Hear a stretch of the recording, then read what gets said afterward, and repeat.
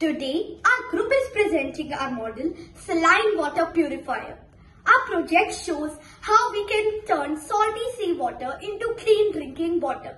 In the future, our purifier will run mainly on solar energy, so it will not need electricity.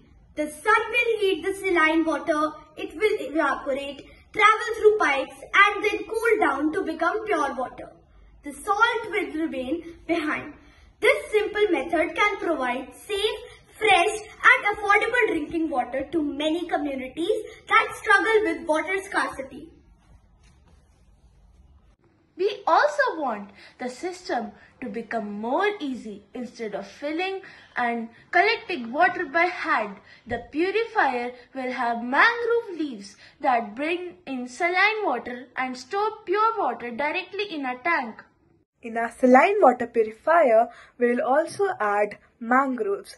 We'll add pipes that can transfer water and show how much clean water has been collected.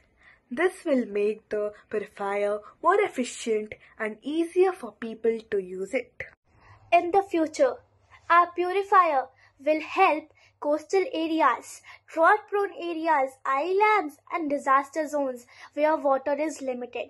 It can supply families with safe water drinking daily and reduce the use of plastic bottles. It is affordable, eco-friendly and safe for sustainable living. So this is our vision for the future of the saline water purifier. Solar powered, eco-friendly, smart and useful for communities all over the world.